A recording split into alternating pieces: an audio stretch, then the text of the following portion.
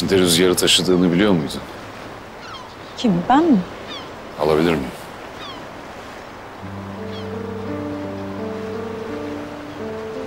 Her insan içinde rüzgar taşır. Ama ben deniz kabuklarından bahsediyorum. Rüzgar tutan derim ben bunlara. Nasıl yani? Kulağına bunu böyle dayarsan... ...rüzgarın sesini duyabilirsin.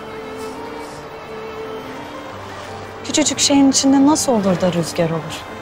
Denesene.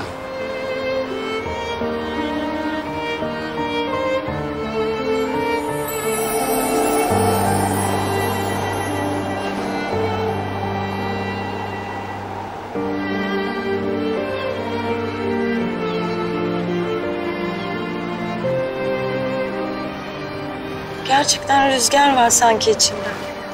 Korkma tekrar yap.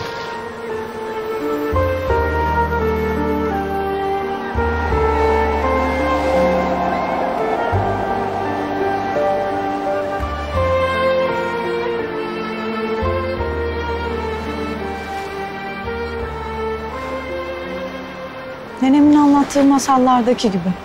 Sanki gerçek değil. Çok güzel.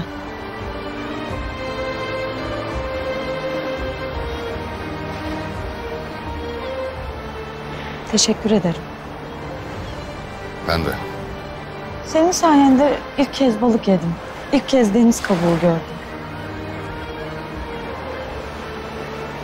Sen de kalsın. Kendi rüzgarın olsun. Kendi rüzgarım. Kendi rüzgarını istediğin yere götürebilirsin.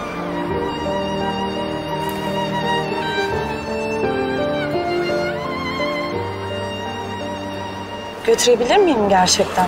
Rüzgar asidir diyebilirdim hep. Asidir, haklısın. Tutamazsın. Rüzgara söz geçirebilen, onu tutabilen tek şey bu deniz kabuklarıdır. Sertlerdir ama bir o kadar da hassastırlar. Senin gibi.